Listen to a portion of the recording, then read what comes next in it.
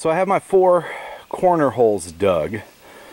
Um, I was working on some video the other day and my some of my hard drive messed up. I don't know if I didn't have enough space.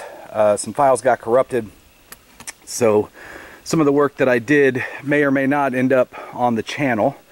Um, I'm going to try to recover that, but just so you know where we are right now, I have um, my four uh, corner holes dug, and now I'm going to mix some Quikrete, uh, excuse me, to put in the bottom of those. So uh, I'm going to measure these again real quick. They should still be good. I left enough space to play with. Um, and I, for the last one, the very last one, I dug three with shovels. The very last one, I got a post hole, a post hole digger, and now I've got some Quikrete, and I've got a five gallon jug of water. I think it's 3.5 quarts per 80 pound bag. Uh, a gallon is almost four quarts, so I'm just going to mix a little at a time in this blue bucket and see what happens. Stole my wife's garden trowel. She doesn't know that, and probably not to like that. So this looks like it's got uh, gravel. Somebody already mixed gravel in with this. I don't know if this kind comes with gravel already in it or what, but let's see what happens. I don't want to get too much in there and not be able to stir it.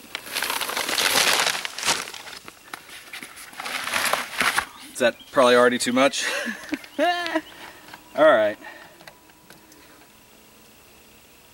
And yes, I'm using my potable water jug like a big dummy. It's okay.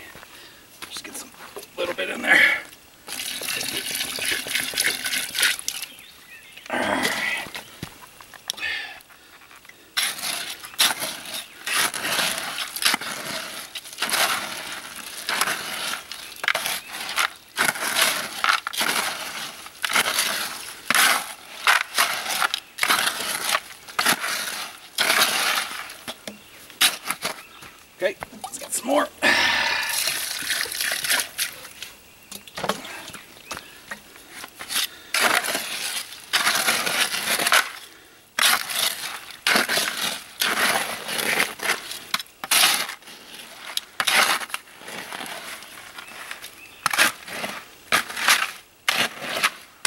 How long do I have before this stuff starts to set? So I have seen some people just pour the gravel in there and then let it let the rain set it or let it get wet from the ground moisture or something. I don't know. But I, I know that if you use too much water the concrete might turn out brittle or something like that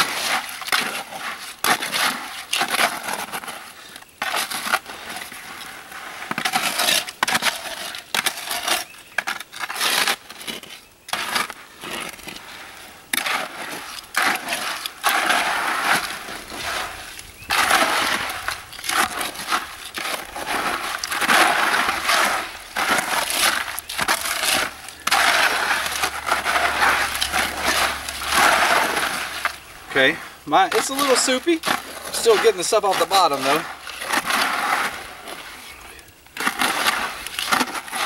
Stuff washes off, right?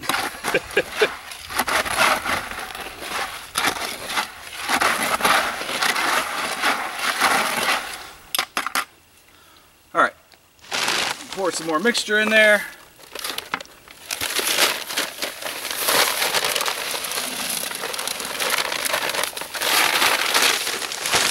and then see what we have.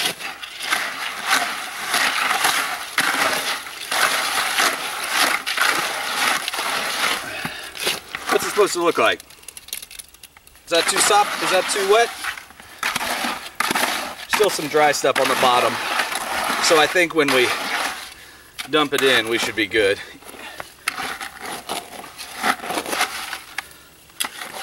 Yeah.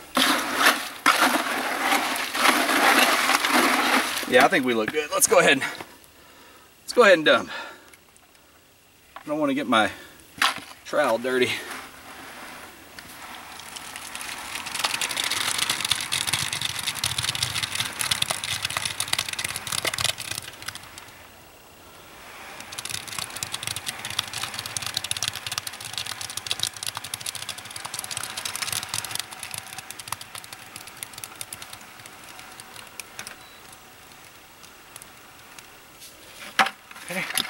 Yeah, see there's still some stuff at the bottom that didn't fully get mixed in.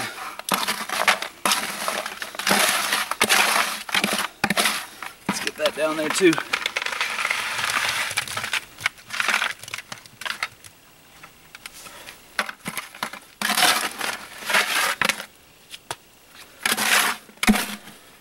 Make sure we get all this good stuff.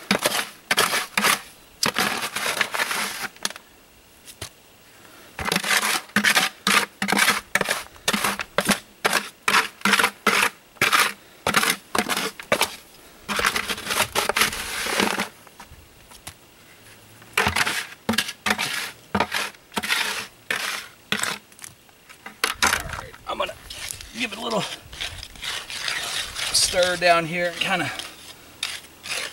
smooth it.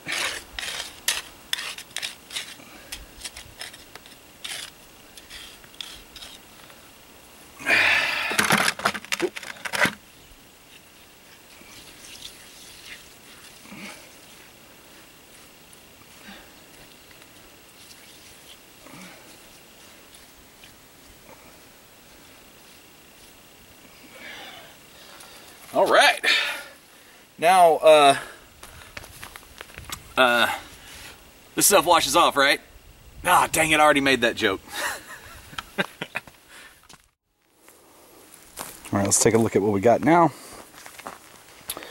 There's the concrete footer poured in one hole. It's not cured yet. I just got done mixing and pouring.